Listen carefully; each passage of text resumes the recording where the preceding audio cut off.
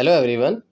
In this video, we will see how to add or remove exclusions for Windows Defender. So let's get into it.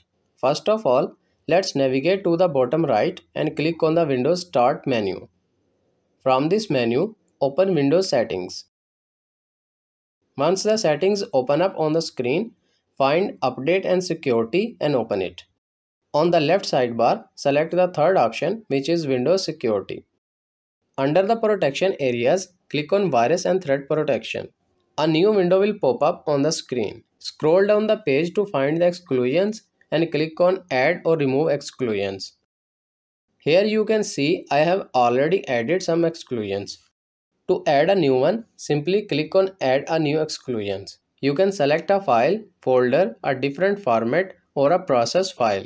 For example, if you want to add a folder, click on it Select the folder that you want to add and then click on select folder. At the very bottom of this list, you can see that the folder is added. If you want to remove the exclusion, simply click on it and then remove it. This is how you can add or remove exclusions for Windows Defender. I hope this video is helpful for you. For more information, please subscribe our YouTube channel and thank you for watching.